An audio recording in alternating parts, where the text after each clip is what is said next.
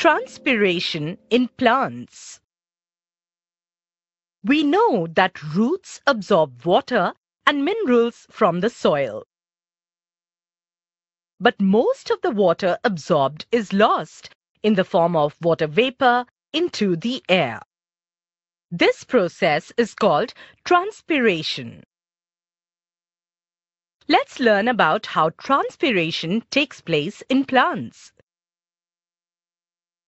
In plants, the water required is absorbed by the roots from the soil with the help of root hairs by a process called osmosis. The water is further transported upwards through the stems to the leaves through xylem, which acts as a pipeline.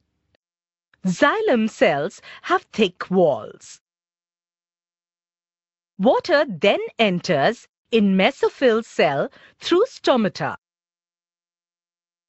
Stomata are openings on the leaf surface through which transpiration takes place. The stomata are surrounded by guard cells which help the stomata to open and close. Transpiration takes place during daytime when the stomata are open. Transpiration is also done through lenticels, which are minute openings on the stem. Lenticels are less in number compared to stomata. Transpiration also takes place from the leaf surface. Leaves are covered by a waxy layer of cuticle, which is called cuticular transpiration.